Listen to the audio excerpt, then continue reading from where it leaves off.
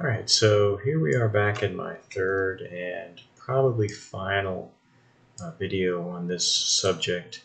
Um, past, past this next idea, um, you're going to need a, uh, a, spline mesh uh, idea, like if you want to make like a, a curving type of a, thing. And so I, I, may make one after this doing something with the spline mesh. Um, th that kind of differs from this idea. Uh, this idea is pretty much straight, uh, straight line uh, walls or fences kind of an idea. And the spline mesh is more, for me, like roads, uh, things that are going to curve, uh, pipes, things like that. So I may do one on, on pipes and stuff, but I think there's already a lot of uh, pipe videos out there, so I don't know that I need to do that.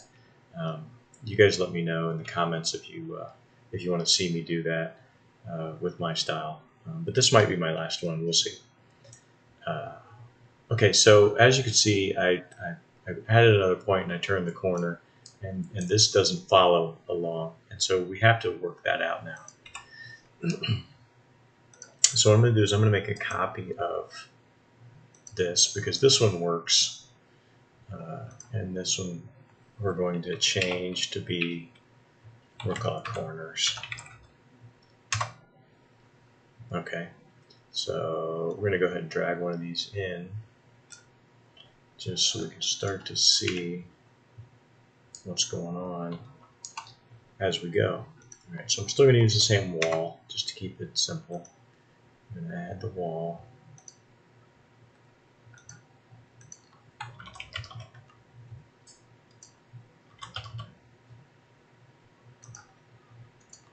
bricks material. Try some bricks on there just to give us something different to look at.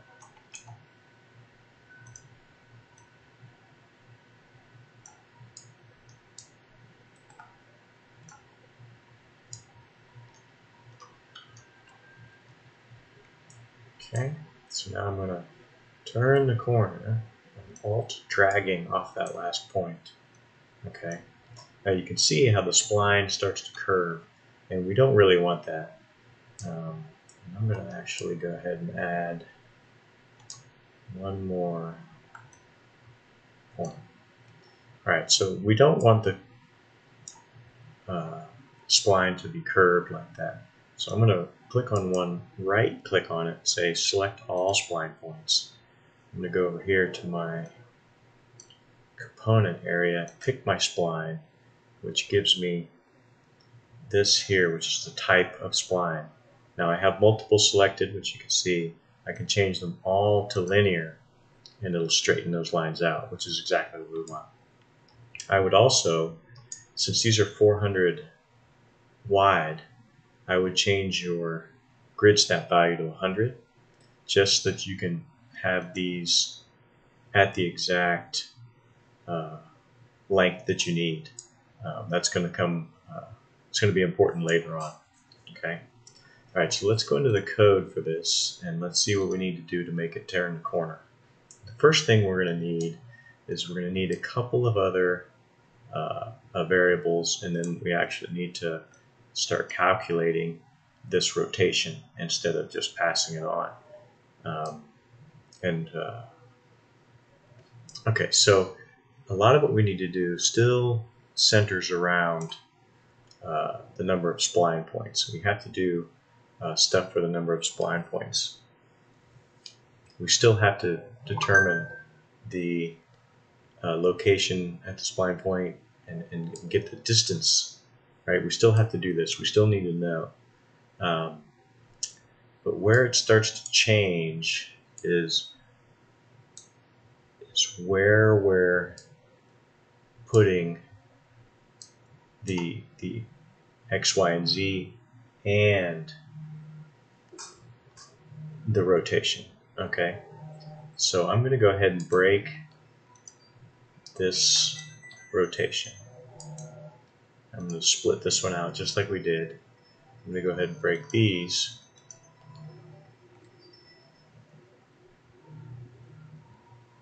Okay, and I'm going to add, I'm going to do my plus float to float because I know I'm going to need all these. Plus float to float. Stack these all up. Same thing here. Plus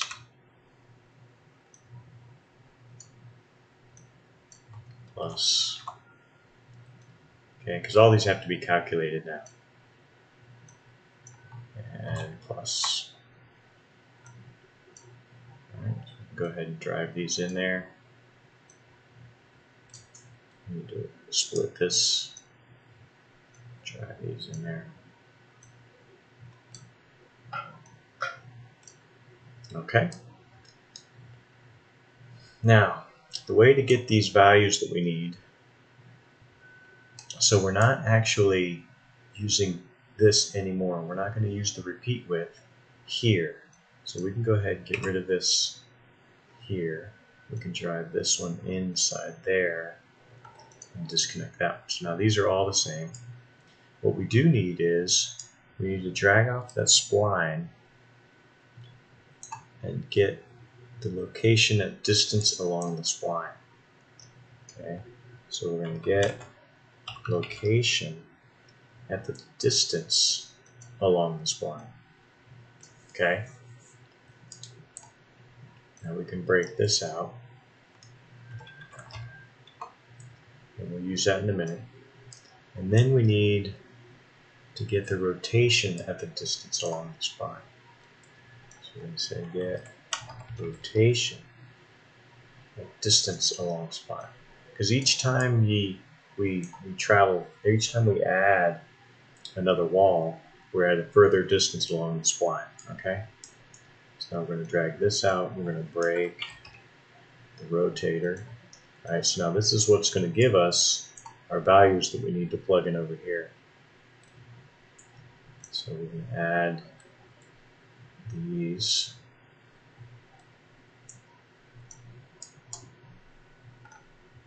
This, this, and add this. All right, it's pretty simple so far. All right, now the next thing we need, we need to be able to say, okay, what distance do we need to have these at? And I struggled a lot with trying to take some value from here and some value from here and add them together and add local variables. Uh, and it, in the end, what I did was I created a variable called loop count. And I made that an integer And then in the beginning of it all, like each time, each time for each repeating item, I need to reset this loop count. I need it to be zero each time I start with a new item. If that makes sense. So we're going to just initialize that to zero. And then each time I add an item, I'm going to increment this. So I'm going to get this and I'm going to say inc, just increment it. I'm going to add one to it. Okay, that's all I have to do. Now, every time a piece is added, uh, my loop count will go up. And now all I have to do is go over here and take this loop count times it by my repeating width and that will give me my distance along the spline that I need to figure out. Right now we should be able to compile this and save it and we should go back into the world and see our building sides. Okay, so here's a good example of why you need to have the spline points at the exact location. This has to be exactly at 400. Otherwise, it tries to add one more piece of building, and then 300 pixels later, or 300 centimeters later, starts to add the one down the, the, the chain. So I could either drag this here, move this spline point here so that it's straight, Okay.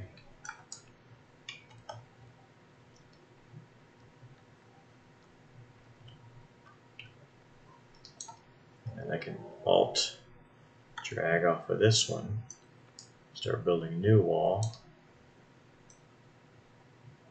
right to the edge. Okay. Alt drag this way. Maybe get to the end. And now it should line up perfectly. Alt drag this way. And I get a completed building. Alright, you can play. It's got the building. And doesn't get any easier making a building than that. Okay. So now there's a couple other things we can do. We can cover up these corners. Okay, so to do that, we're going to go to my repeatable. I'm going to add one.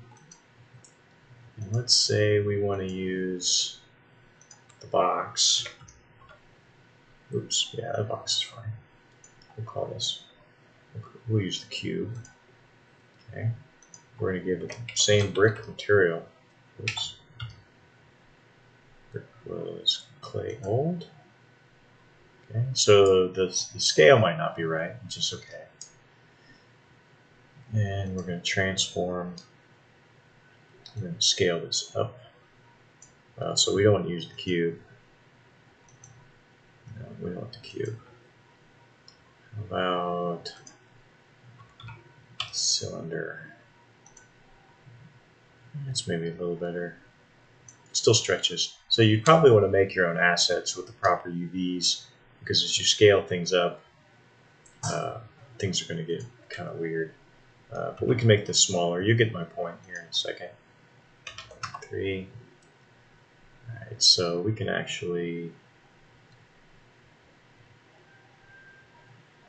you could do it like this and add a couple cover up that corner or add some decorative piece on the corner. That's going to be 150 halfway. So let's just stretch this now for. So you probably want to make some better material, either something triplanar. Actually, we'll go 3.1 just to stick it up past the thing. See that Z fighting.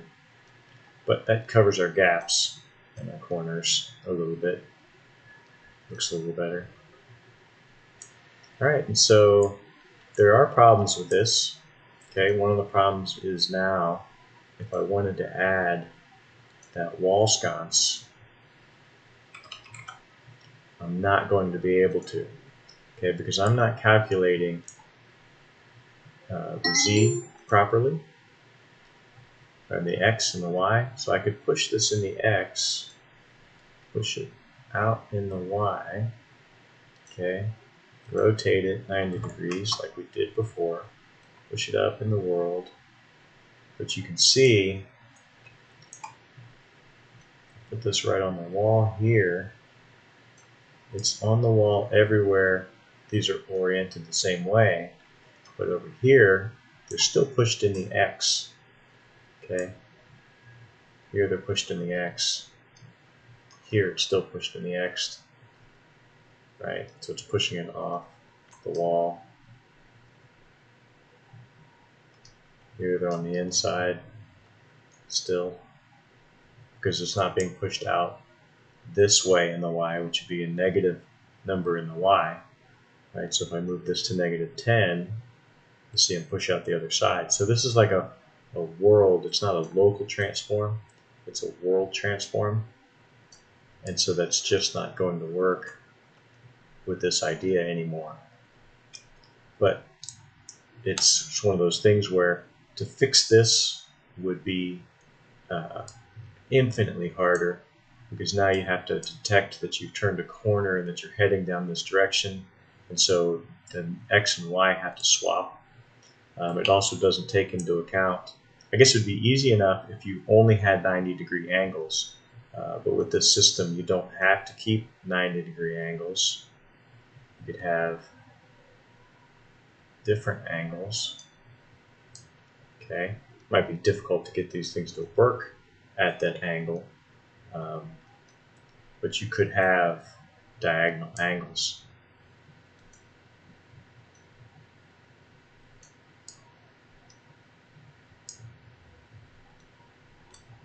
Of course, I probably wouldn't want to be snapped at 100 either. Uh, that's going to make it a lot harder to get this thing to work and look good. So you'd, you'd probably turn off that uh, that 100 snapping, but you could make virtually any size, any angle. Get the right one.